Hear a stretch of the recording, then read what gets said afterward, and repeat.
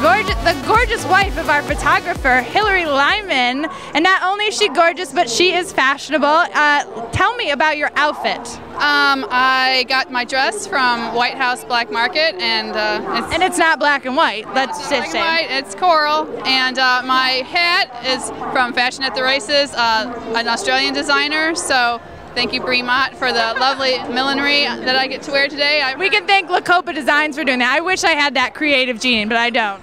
I've got many compliments on it already Oh, today, so it's been very honored to wear this beautiful piece. Yeah, well, I love the color blocking. So you did the coral, you had the turquoise. I mean, some people would say they don't go, but you you got accessories down here. Yep.